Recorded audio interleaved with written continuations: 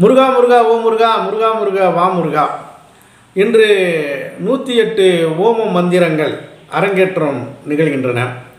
முன்னாளில் பாகவதம் பரங்கிரி அம்மானை எழுதியும் பாடியும் பெயரும் புகழும் பெற்ற சிவகங்கை சீமையிலே சங்கங்குளத்து என்ற சங்கங்குளம் என்ற ஊரினிலே கவிராயர் நல்லகுமார் மகன் வழி பேரனான கருப்பையா முத்துப்பிள்ளை பரமேஸ்வர கவிராய கவிராயராகிய நான் முருகன் மீது நூற்றி எட்டு ஓம மந்திரங்களை எழுதியுள்ளேன்.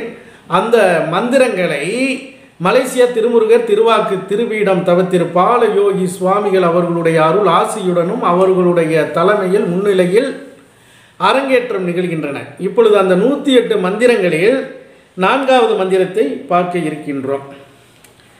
அகக்கண்ணாய் அகக்கடவுள் அகங்காலை அகங்கரிப்பு அகங்களிப்பாய் அகத்தாமரை அகக்கடவுள் அகங்கரிப்பு அகக்கண்ணால் அகங்காண அகங்கரிப்பறுத்து அகங்கரிக்கும் அகரனது ஓமோ மந்திரம்.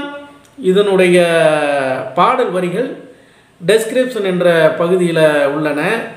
சப்ஸ்கிரைப் பண்ணுங்கள் பெல் ஐக்கானை கிளிக் பண்ணுங்கள் இப்பொழுது அதனுடைய பாடல் விளக்கம். அகக்கடவுள் அகக்கடவுள் என்றால் ஆன்மா. மனம் உயிர் இறைவன். இதுதான் வந்து அகக்கடவுள். நம்ம உள்ளே இருக்கிறான் இறைவன். முருகப்பெருமான் ஆகி உ ஓம் உள்ளே வடிவமாக இருக்கிறது ஆன்மா. அது வந்து ஒரு இறைவன் மனம். இறைவன் மனம் இறைவன் அகக்கண். உள்ளே இருக்கிற இறைவனை அகக்கண்ணால் பார்க்க முடியும். அது ஞானக்கண் என்பார்கள். உள்ளே இதயம் இதய தாமரை இதயத்தாமரை என்றால் இதயம் இருக்கிறது. அது வந்து அகக்கமலம் என்ற பெயரை பெறுகிறது. அதில் வந்து இறைவன் இருப்பதனால்தான் உயிர் நாடுகளெல்லாம் துடிக்கின்றன. அகங்காள் முதிர் மரம். முருகப்பெருமான் வள்ளியை மணப்பதற்காக வேடர் கோலமிட்டு சென்று வேங்கை மரமாக இருந்தான். முதிர்ந்த மரம் முதிர்ந்த மரம்னா கிழவன் முருகப்பெருமான் வள்ளியை மணப்பதற்கு கிழவனாக வேடமிட்டு சென்றார். அப்போ அந்த முருகப்பெருமானுடைய அவதாரம் ஏனென்றால் எல்லாம் அறிவதற்கு ஞானக்கண் எப்போ திறக்கும் என்றால் எல்லாம் அனுபவம் எல்லாம் முடிந்து இந்த உலகத்தில் உள்ள இன்ப துன்பங்களெல்லாம் அணிவு அனுபவம் செய்து பிறகுதான் இந்த இறைவனை அடைகின்ற பொழுது தான் அந்த ஞானக்கண் பிறகும். அதனுடைய அடையாளமாகத்தான் முருகப்பெருமான் கிழவர் வேடமிட்டு வேங்கை மரமாக இருந்தான் என்பதனை உணர்த்தப்படுகிறது. மனவெறுப்பு. எல்லாம் உள்ளே இறைவன் இருக்கிறான் ஆன்மா இருக்கிறது இறைவன் உள்ளேயே இருக்கிறான். இருக்கின்ற பொழுது எப்படி மனம் வெறுப்பும் ஏற்படும்?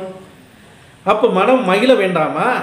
அப்போ அந்த மகிழம் மனம் மகிழும்படி இருப்பதற்குத்தான் இந்த ஓமம் மன்றத்தை உச்சரிக்க வேண்டும். அகக்கண்ணால் அறிந்து இறைவனை அறிந்து ஓமம் என்ற என்ற மந்திரத்தை உச்சரிக்க வேண்டும். இப்பொழுது ஓம மந்திரம் ஆறாவது பாடல் வந்து பார்க்கின்றோம். ஐந்தாவது பாடலை பார்க்காதவர்கள் மேலே மேலே ஐகார்டில் பார்த்து கொள்ளலாம். டெஸ்கிரிப்ஷன் என்ற பகுதியிலே பாடல் ஐந்தாவது லிங்கில் உள்ளன. டிஸ்கிரிப்ஷனில் ஐந்தாவது லிங்க் உள்ளன. அதில் வந்து பார்த்து கொள்ளலாம். இப்பொழுது ஓம மந்திரம் ஆறு வந்து பார்க்கின்றோம். அகடுள்ளை அகடுள்ளை அகடுமோடு அகடதுவும் அகடதுவேன் அகடாகும் அகடிதமே அகட்டுத்தே அகடதுவே. அகடாகி அகடனும் அகடிதமே. அகடி விகடமே அகத்துக்குள்ளே ஓமோம் மந்திரம். இப்போ இதனுடைய பாடல் விளக்கம் என்னவென்றால் அகடு. அகடு என்றால் அகடனம் என்றால் கேடு. நிறைவேற நிறைவேற்றத்தக்கது. அகடிதம் என்றால் நிறைவேற்றத்தக்கது கேடு. இப்பொழுது நமது வயிறு வயிற்று பகுதியில் வந்து நடுப்பகுதி சீராக இருக்கிறது.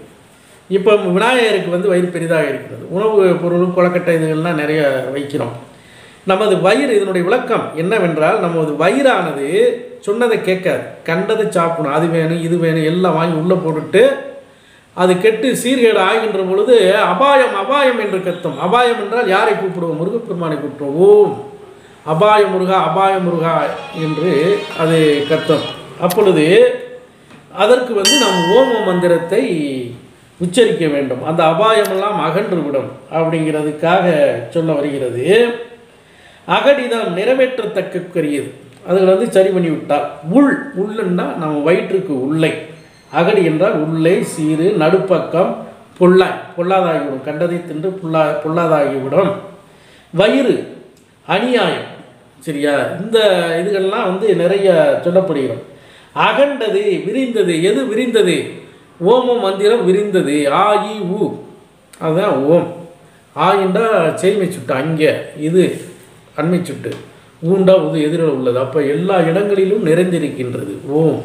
ஓம் என்ற மந்திரத்தை உச்சரித்தால் சவ சகல சௌகாரியங்களும் நடக்கும் என்பது குறிக்கிறது. அதுதான் வந்து இந்த பாடலினுடைய விளக்கம்.